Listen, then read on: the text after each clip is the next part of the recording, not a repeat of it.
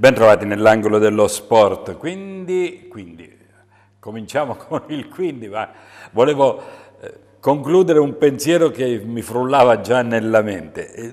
È tutto a posto perché sono tutti abili e arruolabili e arruolati i giocatori del Pescara, come dire che il nostro tecnico Massimo Oddo ha, dei problemi di abbondanza e benvengano questi problemi perché così lui ha la possibilità di fare delle scelte.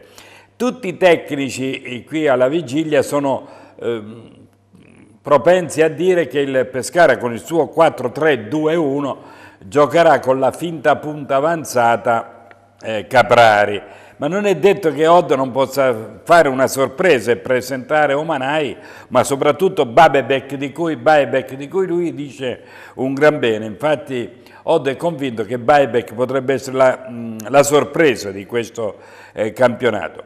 L'arbitro sarà D'Amato di Barletta, vi ricordo che D'Amato ha arbitrato spesso il Pescara in B, in Coppa Italia. L'ultima partita che ha arbitrato è stata eh, la, eh, il Pescara contro il Frosinone in Coppa Italia, vincemmo, vinse il Pescara per 2 a 0 con due gol di Verre.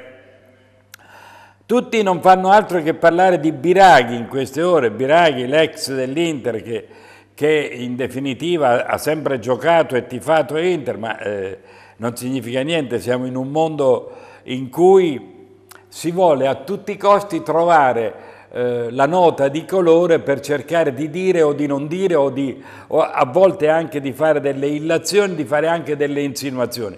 Eh, così capita per dei giocatori, così capita per degli arbitri, soprattutto contro gli arbitri e via di questo passo. Non vogliono assolutamente capire che i giocatori sono dei professionisti che guardano solo e soltanto il loro rendiconto, guardano solo e soltanto le loro prestazioni e vanno a capire subito quanto quella prestazione può eh, rendere, quanto può essere quantificato nel successivo futuro. Vabbè, detto questo, eh, la formazione dovrebbe essere presto delineata, insomma, Bizzarri in porta, eh, la linea di difesa Zampano, Campagnaro, Giomberg e Biraghi, Giomberg giocherà tranquillo, sicuro, poi la linea di centrocampo Cristanti, Aquilani, che giocherà dal primo minuto, e Memusciai, però non è detto che Brugman non possa ritagliarsi il suo spazio. Poi la coppia Benali-Verre che oramai è collaudatissima e davanti personalmente metto Caprari.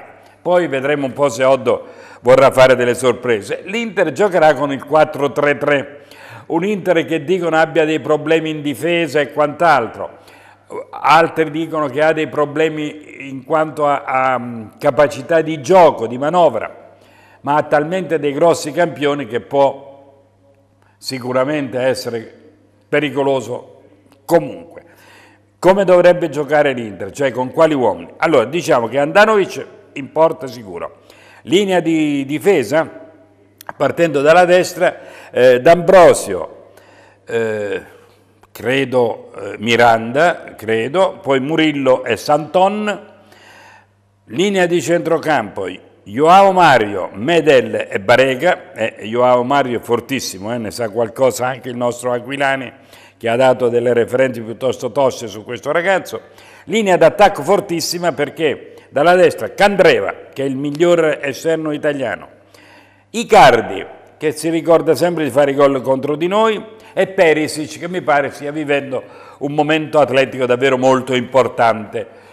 I tifosi pescaresi sono eh, sono, stanno già con il, il, fuoco acceso, un entusiasmo alle stelle e, e ci auguriamo che sia eh, do, domenica sera una, una, serata di sport davvero ad altissimo livello, e come coreografia, e come gioco e poi diciamo anche come risultato. Un affettuoso abbraccio da Gianni Lussoso come sempre, un ringraziamento particolare al regista della puntata, l'amico e collega Leo Di Blasio, appuntamento alle prossime edizioni di TVQ Sport.